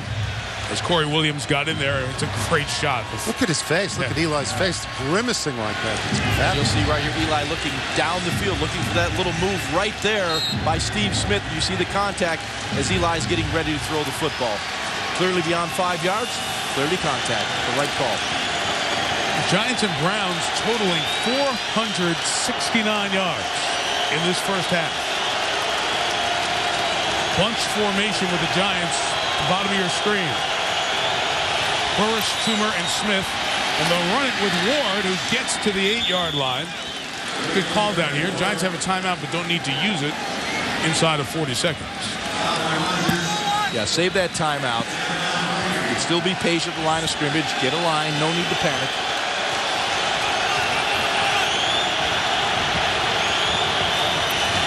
And Manning throws the slant, completes a Hicks, and it's a first down. May want to take the timeout here. They will. I would definitely use Yeah. it here. Yeah, 17 seconds left. Giants use their final timeout. They'll have first and goal at the three with no timeouts. Those of you just tuning in, surprised to see the undefeated Giants down 10. Here's what's happened. Eli Manning been hit a few times, thrown his second interception of the year, but 11 of 17. Brandon Jacobs, the story early on for the Giants. Five carries, 29 yards, his fourth touchdown of the year. For Cleveland, it's been Braylon Edwards. This deep ball on Aaron Ross. The longest pass play by a lot for the Browns, and it's been a much better night for Derek Anderson. The only guy who started every game this year and been under 50% completions has been sharp, sharper as the game's gotten deeper. Nobody picked up Derek Anderson all year like that so far. That's a new move for the Browns, given how bad their offense had been.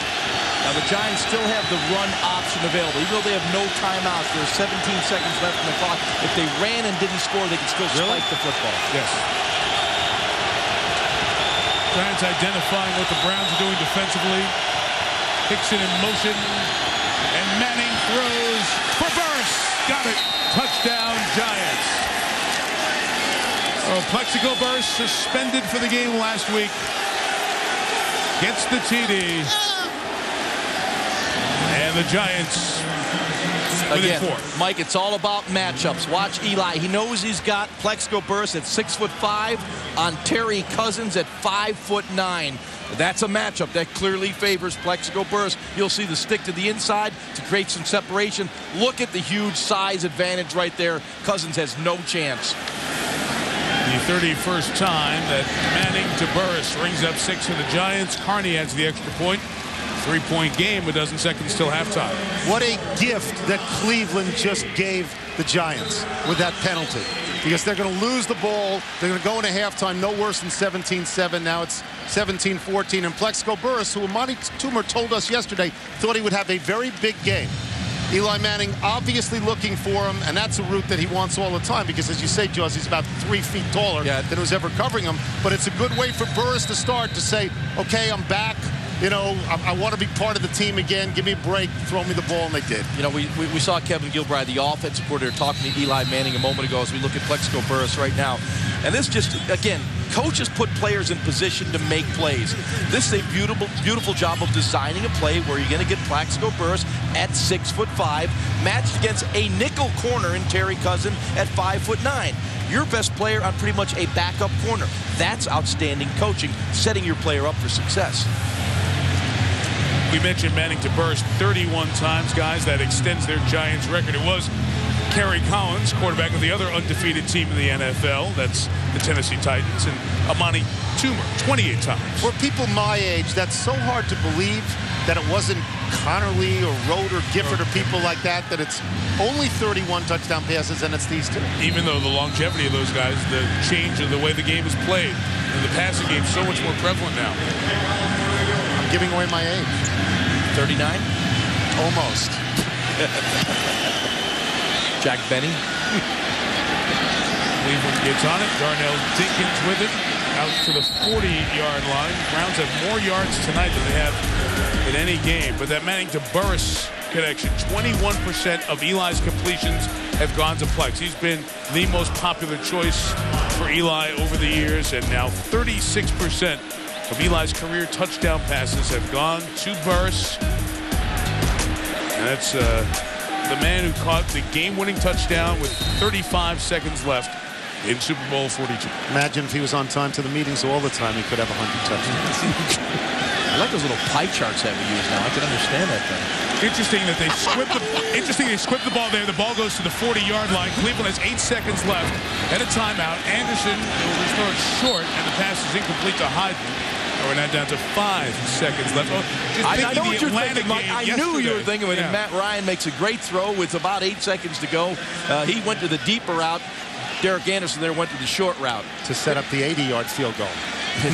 Which, you got to go deeper down the we, field. we, we know Dawson has a strong leg, but uh, it's a little bit out of his range. And he does have some wind in his back. In the preseason, we saw him kick a 56-yard field goal at Giant Stadium, remember, Dawson. So it would have been... Mike's trying to sell this. no, no, no. If they would have gotten 25 yards on that play, they would have had a chance. Now it's just... I don't know what it is. They went for four I mean- I mean, really, at that point, what are you doing? Well, now, they, now they've left uh, themselves one wow. second to throw the Hail Mary. Of course, that's what they were trying to do, right? I mean, what's a four-yard pass going to get you in this situation? I mean, the Browns have had problems in their two-minute drills pretty much all season long, and this is this is not a surprise that they're botching this one once again. Now they'll take an So this whole Yeah. good first half they had, they give everybody a reason to boo on the way out here. They shouldn't boo, though, because the best they've played all year. Not, not that that's a bad decision there. It's just the first two on the front end of it. Now they cheer. Their Browns had a good half. cheer. They played their butt off. 17-14. Here's Chris Berman in the Toyota halftime show. Boomer. All right, Michael, thank you very much. So, interesting one in Cleveland for sure as we begin at prime time at halftime. And hi, everybody. Happy Columbus Day to you and to our Canadian friends. Happy Thanksgiving to you. thought we'd get that in. Chris Uh-huh. Berman along with Tom Jackson. And, well, the good team score at the end of the half, like the Giants did. But just like we thought, Cleveland would be ahead, right? Well, when you're the defending champions, this is the game that you're going to get from everybody. Yeah, but here are the Browns, just like you thought they Yeah, would be. right. well, we have them on three times this uh, year on Monday Night Football. Well, the Giants, although it's tough for them so far, they're trying to move to 5 and 0, which, of course, would distance themselves a little more from those teams in the tough NFC East that were right on their heels. The Cowboys got the sobering news today that quarterback Tony Romo would be out about a month with a broken pinky and his throwing hand. Yesterday, they found the Arizona desert to be just as eyebrow raising. Dallas was on the wrong end of an NFL first on a Sunday full of fantastic finishes and teams just hanging in there. Here we go with our fastest three minutes. And to the big toaster we go in Arizona. And the opening kickoff for the Cardinals. J.J. Arrington makes a cut. Whoop! And he could go all the way. And that quickly, the Cardinals lead the Cowboys. Then when Kurt Warner to Larry Fitzgerald, who was all Arizona. But here comes Dallas. Tony Romo, Marion Barber. Barber does the rest. 70 yards. We're going to 24 all to overtime, but the Cowboys have the ball, but three and out of them. Sean Morey breaking through, blocks the punt. Monty buys the first time ever a game ended on a block punt for a touchdown. Cards win 30 to 24. Watch what happens when the big guys get the ball. Watching Pete Kendall, boink! There it goes. And Oshiomogho Atogwe could go Atogwe. Touchdown. Rams. Marc Bulger. Donnie Avery. Rams. Josh Brown for the winner. 49 yards. Rams beat the Redskins for Jim Haslett. 1 0 as Rams coach. Back in business are the Eagles. Donovan McNabb passed our own Ron Jaworski for the most yards passing in Eagles history. Ajukwe Parker passed Usain Bolt right here as the Eagles are now 3 and 3 beating the Niners. Philip Rivers threw three touchdown passes and the Chargers defense stuffed the Pats on fourth down. Chargers all over the Patriots 30-10 they're 3 and 3. In the drop, the Colts had not won yet. Peyton Manning to Marvin Harrison twice. They roll Baltimore, they're 3 and 2. The Jaguars going to Denver and Maurice Jones-Drew. How about that run? What? Between defenders, the Jags are 3 and 3. Big game for Tampa Bay. Geno, Geno Hayes, they deliver. Block punt, and the Bucks tie Carolina for first. Fantastic finishes. Ronnie Brown. Here come the Dolphins in Houston ahead of winless Texans. But Matt stumped the Schaub to Andre Johnson on fourth down. And then on fourth and two, Schaub, his own number. The Texans win for the first time. Congrats to them. Falcons. Goal line stand giving Chicago a bit of their own medicine. But with 11 seconds to go, the Bears, Kyle Orton to Rashied Davis, they have the lead. How does young Matt Ryan make this throw to Michael Jenkins with one second to go? Jason Elam, 48 yards. Good. The Falcons are 4 and 2. And then there was Detroit at Minnesota. Dan Orlovsky, that would be his safety. Just like in the Homer Dome, Kent Hrbek hitting a two run homer. But Detroit came back when Kirk Gibson hit a three run homer. They led 3 2. Minnesota would win it on a field, no, on a walk off homer by Kirby Puckett. Minnesota wins it 12 10. It is baseball time. We thought we'd get a little bit of that in. That was a bizarre game, some, some intriguing games as well. But we. Um, we talked about the Dallas Cowboys, Tommy, and we talked about game balls. How about a quarterback? I got ahead of myself. Playing as well, better than anybody in football. Well, playing the best quarterback in the National Football League, and that's Drew Brees. Uh, only one game this year under 300 yards passing and on pace, get this, to break Dan Marino's record set in 1984 for passing yards. Look at Arizona's special teammate Sean Morey from Brown University. Eight years in the league. He's got 11 catches, but he blocked the punt and Arizona wins. Well done, Sean. Game ball from us. When we return, more on Tony Romo's injury. What's ahead for Dallas? We get set to read and react when we're back in 30 seconds. This halftime show is presented by Toyota. Moving forward. Saved by.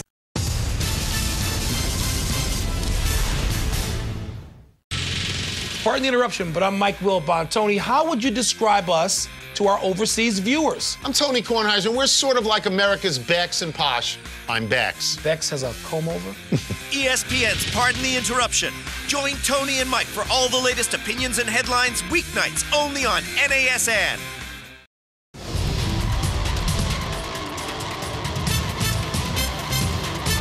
Toyota Halftime Show with your host, Chris Berman. Shades of uh, Jim Brown against Sam Huff. I don't know. Cleveland shocking the undefeated Giants at half 17 14. Tony Romo out about a month, Tom, for Dallas. Brad Johnson, who's won a Super Bowl, he's 40 years young now, will be the quarterback for the Cowboys. At St. Louis, home to Tampa, at the Giants, a bye, and at Washington, perhaps.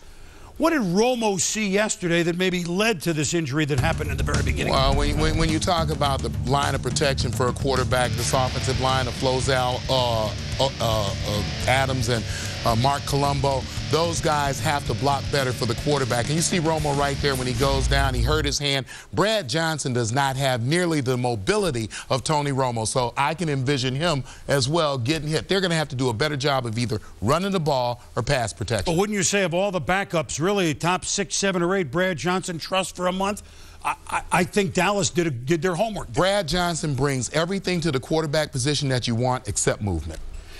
Quarterback position, which we were waiting on for a little bit, is Eli's older brother, Peyton Manning. He and Marvin Harrison got the headlines yesterday as the cultural Baltimore, but you saw something else. well, uh, again, let's stay front line because we talked about the lack of tackling, the inability to stop the run. Yesterday, they held one of the better rushing teams in the National Football League to 51 yards rushing. That set up everything else that they wanted to do defensively, and that let their offense get on the football field so they could have some success. And they finally won a home game in the Lucas Oil 1,000-gallon drum. They lost six home games in a row if you include the preseason, include back going back to the RCA dome. But the Colts, hey, they're three and two. Eli Manning. But when have you seen a play like this toward the end of the clock winding down The Plaxico Burress? But the Browns still lead 17 14. We're back with more, including a baseball update in 30 seconds. Say